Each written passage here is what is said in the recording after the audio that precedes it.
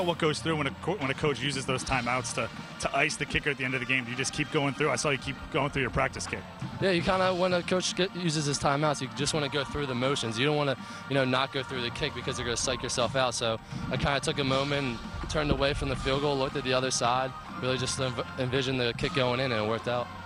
How important was it for coach to show that confidence in you to put you back out there? It was real. It was real good for me because uh, uh, so far I've been having a rough year. A lot of things are, aren't going in place like they were when me and you were together.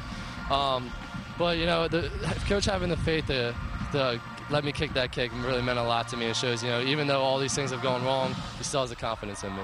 All right, congratulations, Sean, and good luck the rest of the way. Appreciate it. Thank you. You had 11 tackles and a tackle for a loss. Talk about how you were able to find the ball so many times. Um, basically all week I just was focusing on getting my job done, and when the play come to me, just being able to make the play. I mean, as 11 guys on the field, we all need to do our job. Everybody's not going to make the play every time, but when the play come to you, you need to be prepared to make it.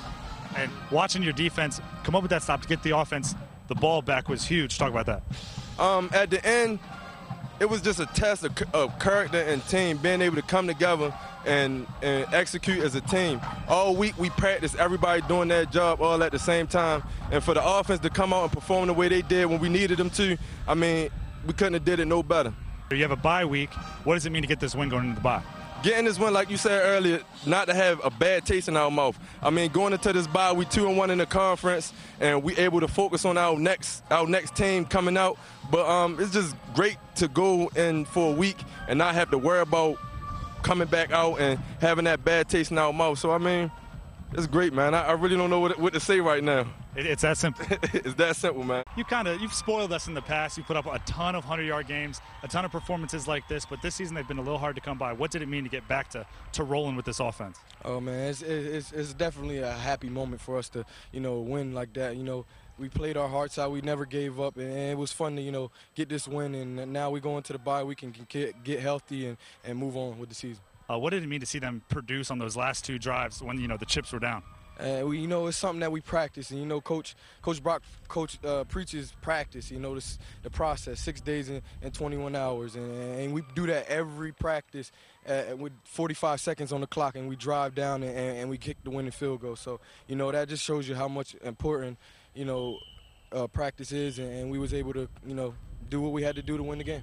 And now you have a bye week, much needed for this team. How important was it to get you know, a win going into the bye, so you didn't have that bad taste in your mouth for two weeks. Definitely, it, it was big, you know, and and and, and that'll help us go with the momentum and, and do everything that we need to do to put ourselves in the best place to, to go out and do what we want to do in the CAA. All right, thanks, AP. Thank you. Congratulations. What was kind of the turning point for this team? Well, I think we executed better. You know, offensively, we were we were hit or miss, more miss.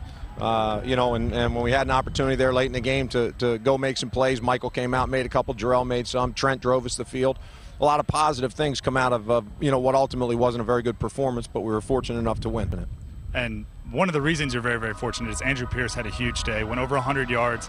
Talk about his performance. Well, Andrew's our leader, and and you know we went into the game feeling like we are going to give him his at bats, and we didn't feel like we had done a good job of that, and, and we wanted to get back to it. He's a he's an emotional leader for us. He's got a spirit. The players love him. The players follow him, and, and when we got him going, we felt a little bit better. Uh, and then we, you know, obviously we felt good about being able to, to put ourselves in a position to win the game at the end. And a lot of games, a lot of in-game situations that we practice all the time, every week. You know, they came out today, and, and again, we were able to execute them, which is a testament to the players. Can you talk about how important that final run was by AP that got the measurement to stop the clock and set up the kick? It was huge. You know, we were going to clock the ball, so we would have, you know, we had the downs to stop the clock but it, it, was big. And, and, you know, Trent did a great job procedurally centering the ball and then clocking the ball. And again, we were just under the wire. You know, we had 16 seconds. We would tell you that you need 13 to do it. We had two on the clock. So, uh, again, we, we, were very, very fortunate. And, and uh, again, we used a lot of our uh, luck today.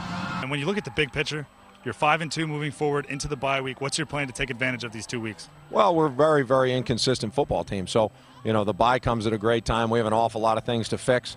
Uh, but again, I, you know when you when you look at our team right now, you say that we can play well enough to win. We have enough players to win, and and we have to do a better job putting our guys in a position consistently to, to be able to, to function better than we have. And and uh, again, that's coaching. The the bye week will, will come at a great time. We're able to go back to work and look at some things schematically, look at some things that we're doing and you know, identify maybe a couple of our weaknesses and, and change them. But the answers in, are in that locker room. The players battled. You know, we got the right people.